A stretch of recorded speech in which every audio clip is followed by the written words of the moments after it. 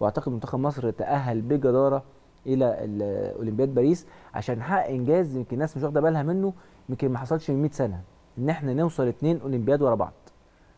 يعني يمكن إحنا بداية مصر مع الأولمبياد كانت سنة 1920 مم. مم. آه، عملنا ساعتها ريكورد من 20 ل 64 وصلنا تسع أولمبياد ورا بعض. بس في أولمبياد فيهم اعتذرنا عن المشاركه فيه اللي هو 56 طبعا بسبب اعتراض مصر على العدوان الثلاثي اللي حصل وقتها فانسحبنا من الأولمبياد. لكن منتخب الكورة كان وصل لدورة الألعاب الأولمبية فوصلت تسع مرات ورا بعض.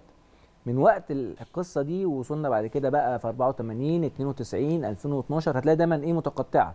يعني ممكن توصل مرة وت- وت- وتخفق مرة وبعدها توصل تاني زي ما حصل إن مم. 84 92 بعد كده غيرنا لحد 2012 ولما رجعنا 2012 مو- اللي هي في لندن ما وصلناش في 2016 اللي هي في ريو.